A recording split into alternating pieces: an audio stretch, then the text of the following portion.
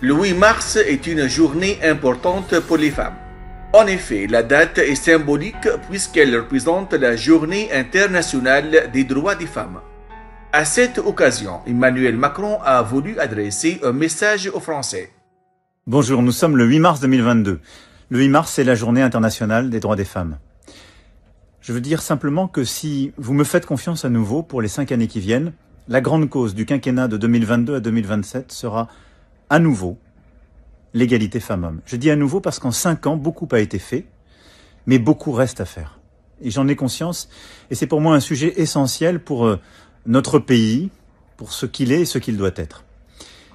En faisant cela, il y a plusieurs sujets sur lesquels je veux avancer avec vous. Le premier, c'est celui de la santé des femmes, et en particulier des jeunes filles. La pilule contraceptive gratuite jusqu'à 25 ans, la lutte contre la précarité menstruelle en distribuant des protections pour les collégiennes, les lycéennes, les étudiantes, mais aussi pour les femmes en situation de vulnérabilité.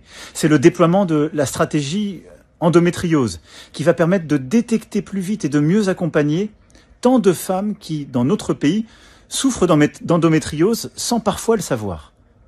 On estime à plus de 2 millions le nombre de jeunes filles, de femmes qui sont dans cette situation.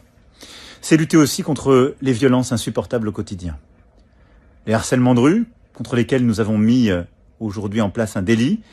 Je souhaite que l'amende soit triplée, qu'on mette plus de moyens en place, en particulier pour euh, lutter contre le harcèlement ou les violences dans les transports en commun aux heures de pointe, pour accompagner les jeunes filles et les femmes. Et évidemment, la lutte euh, si importante contre les féminicides, qui implique des mesures profondes en matière de sécurité et de justice. Puis enfin, c'est la lutte pour l'égalité salariale, avec euh, des sanctions qui seront prises dès la fin de l'année 2022 sur la base d'un index qu'on a voté en 2018. C'est aussi pour ça qu'il faut continuer. Parce que c'est dans la durée qu'on arrive à changer les comportements et faire les choses en profondeur. Voilà quelques-unes des convictions, des choses que je veux faire avec vous. L'égalité femmes-hommes est un sujet clé. Ce ne sont pas que des mots. Ce sont des actions parce que derrière, ce sont des vies, les vôtres. Ce sont des non-dits très souvent et des tabous pendant longtemps quand on parle d'endométriose, de protection hygiénique, même de violence jusqu'à trop récemment. Et donc je serai là pour continuer à vos côtés à lever les tabous, mais surtout pour continuer à agir et à faire, avec vous et pour vous. Merci.